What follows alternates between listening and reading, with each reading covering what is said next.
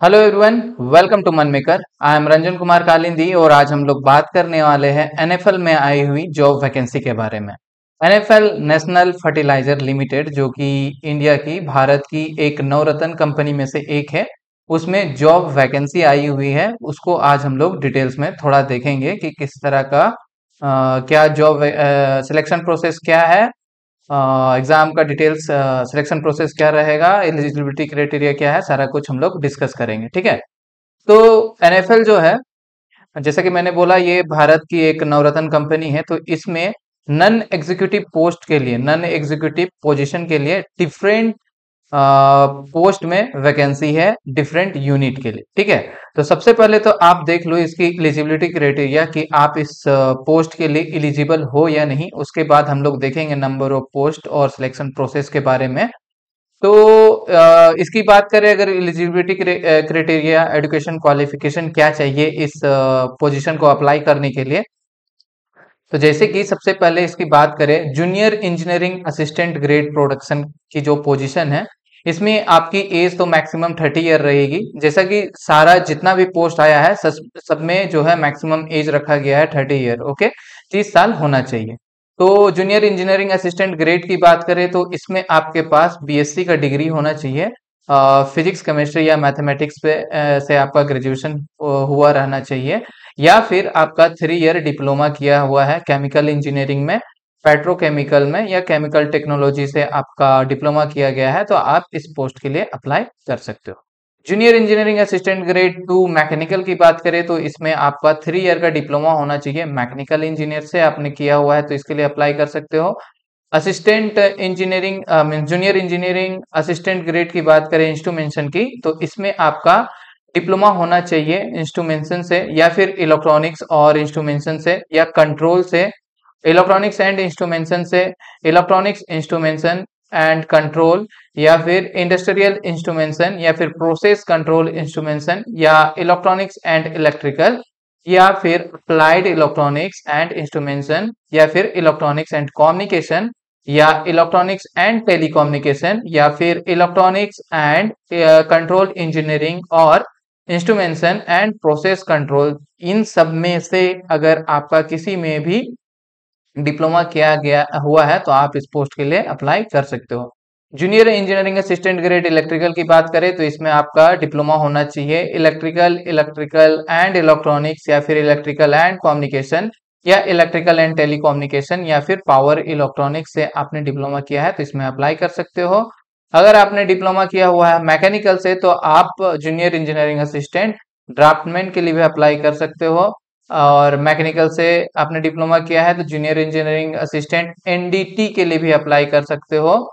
और junior engineering assistant grade chemical lab की बात करें तो इसमें आपके पास बीएससी डिग्री होना चाहिए केमिस्ट्री सब्जेक्ट से तो आप इसमें अप्लाई कर सकते हो।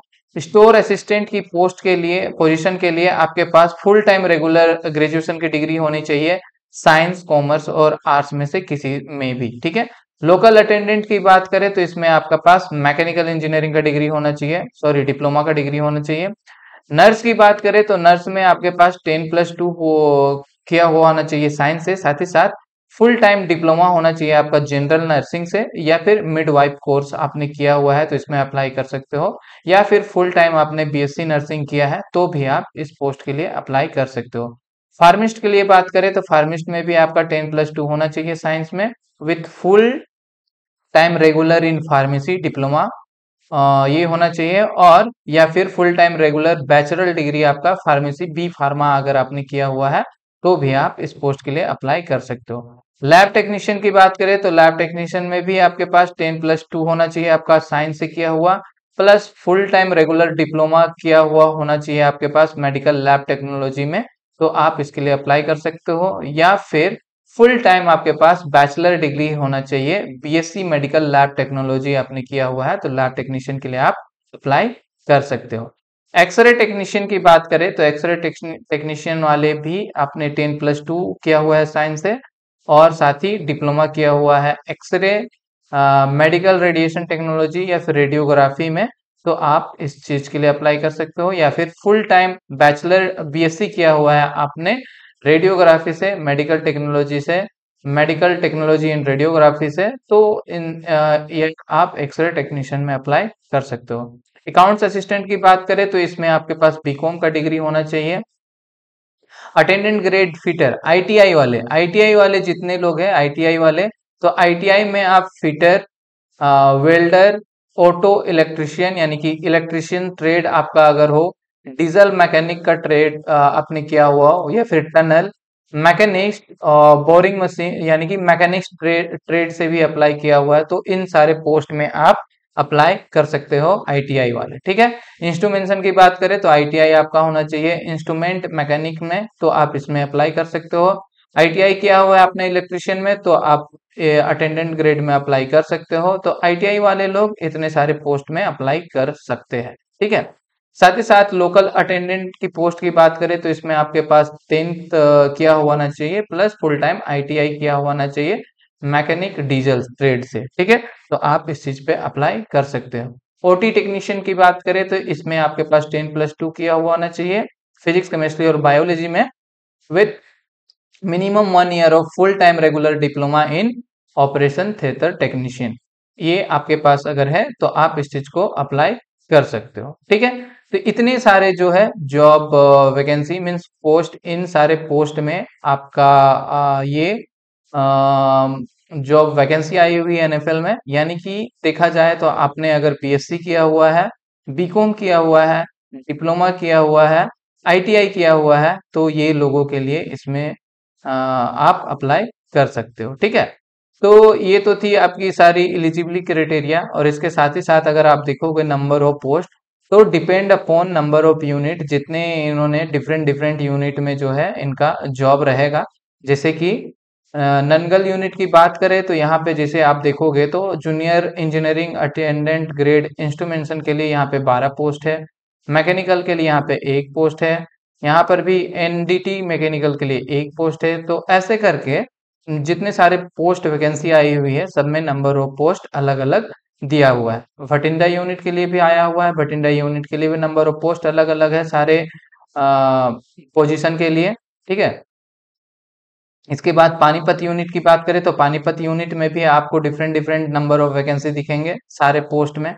और इसके साथ ही साथ विजयपुर यूनिट के लिए भी आया हुआ है तो ये चार पाँच यूनिट में जो है, ये जॉब वैकेंसी आई हुई है। मार्केटिंग डिवीज़न में आ जाएगा आपका अकाउंट्स असिस्टेंट वाले लोग कॉरपोरेट ऑफ़िस में भी अकाउंट असिस्टेंट तो इनकी भी चार और दो पोस्ट है। तो देखा जाए तो टोटल इसमें जो नंबर ऑफ़ वैकेंसी आई हुई है, वो 300 प्लस वैकेंसी आई हुई है, जिसका एजुकेशन क्वालिफिकेशन ये था, जिसको हमने अभी डिस्कस किया।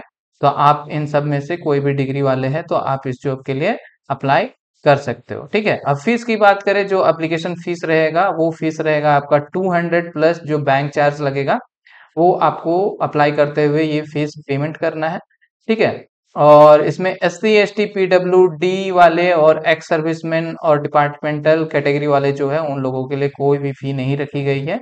ये जो two ten sorry two hundred जो है, वो जनरल पोस्ट और ओबीसी वाले लोगों के लिए रखा गया है, ठीक है? अप्लाई करने के लिए आपको करना यह है कि डायरेक्ट आपको इसके ऑफिशियल वेबसाइट पे जाना है, इसके कैरियर सेक्शन पे जाके आपको दिखेगा रिक्वायरमेंट इन एनएफएल उस पर आपको क्लिक करना है, उसके बाद आपको नॉन एग्जीक्यूटिव इन एनएफएल 2024 का लिंक मिल जाएगा, वहाँ पर आप क्लिक करना, वहाँ पर आपको डायरेक्ट फॉर्म फिल करने का एप्लीकेशन फॉर्म आपको मिल जाएगा, वहाँ से आप इसको फिल कर देना। साथ ही साथ जब आप फॉर्म अप्लाई कर रहे हो तो आपको ध्यान रखना है कि आपके पास ये ज़रूरी डॉक्यूमेंट का स्कैन कॉपी होना चाहिए, क्योंकि जब आप फॉर्म अप्लाई कर रहे हो, उसी टाइम आपको ये डॉक्यूमेंट जो है सबमिट करना है। जैसे डेट ऑफ़ बर्थ प्रूफ के लिए आपके पास मेट्रिकुलेशन सर्टिफिकेट होना चाहिए एडुकेशन क्वालिफिकेशन प्रूफ होना चाहिए, जिस भी चीज़ के लिए आप अप्लाई कर रहे हो, उसका आपका क्वालिफिकेशन मार्कशीट और डिग्री होना चाहिए। फिर अगर आप एक्सपीरियंस दिखा रहे हो तो आपके पास एम्प्लॉयमेंट प्रूफ होना चाहिए। प्रेजेंट एम्प्लॉयमेंट का अगर आप दिखा रहे हो करेंटली कहीं वर्क कर रहे हो तो आपके पास उसका ज्वाइनिंग लेटर वगैरह होना चाहिए और पे स्लिप होना चाहिए। कास्ट अगर आप शो कर रहे हो तो आपके लिए कास्ट सर्टिफिकेट होना चाहिए, ये भी आपको अपलोड करना पड़ेगा। ठीक है तो ये सारे चीज़ और साथ ही साथ आइडेंटिटी प्रूफ एक लगेगा, आधार कार्ड का जेरो आधार कार्ड का स्कैन कॉपी एक फोटोग्राफ और सिग्नेचर ये सारा कुछ आपके पास स्कैन रहना चाहिए। तो उसके बाद ही आप फॉर्म फिल करना स्टार्ट करना, ठीक है? एप्लीकेशन फ़ी के बारे में हमने बता दिया कि 200 फ़ीस लगेगा इस पे। सिलेक्शन प्रोसेस जो इसका होने वाला है, वो रिटर्न बेसिस पे होने वाला है और ये जो रिटर्न बेस बेस रहेगा, वो आपका ऑफलाइन रहेगा ओ एम आर बेस्ड रहेगा, ठीक है? O M R based exam रहने वाला है, ये इसका एग्ज़ाम सेंटर जो आपको देखने को मिलेगा, वो रहेगा आपका रांची, लखनऊ, चंडीगढ़, रायपुर, न्यू दिल्ली, नोएडा, बैंगलोर, भोपाल, अहमदाबाद, हैदराबाद, चेन्नई, कोची, जयपुर, मुंबई, गुवाहाटी, कोलकाता, जम्मू, भुवनेश्वर विजयवाड़ा, पटना, ग्वालियर, इन सब जगहों में आपका एग्ज़ाम का सेंटर दिया जाएगा। तो आप अपने अनुसार कोई भी जगह आप दे सकते हैं फॉर्म फिल करते टाइम ठीक है? अब ये जो ओ एम आर बेस्ड आपका टेस्ट होने वाला है, ये आपका दो पार्ट में रहेगा, ठीक है? तो जिसमें आपका एक पार्ट तो डिसिप्लिन रिलेटेड रहेगा, जो भी सब्जेक्ट के लिए आप अप्लाई कर रहे हो, जो भी डिग्री जो भी आपका ब्रांच है ट्रेड है, उससे आपके सवाल पूछे जाएँगे और एप्टीट्यूड का सेक्शन रहेगा, ठीक है? जो इसमें लैंग्वेज रहेगा, वो इंग्लिश और हिंदी दोनों लैंग्वेज में रहेगा टेस्ट का जो ड्यूरेशन रहेगा टाइम जो रहेगा वो टोटल दो घंटे का रहेगा 120 मिनट दिए जाएँगे जिसमें 150 क्वेश्चन आपसे पूछे जाएँगे 150 क्वेश्चन रहेगा जिसमें सभी करेक्ट मार्क्स पे आपको वन मार्क्स मिलेगा। और इसमें कोई भी नेगेटिव मार्किंग नहीं रहती है यानी कि आपका अगर गलत हो रहा है क्वेश्चन तो उसका आ, कोई नेगेटिव मार्किंग नहीं रहेगा ठीक है?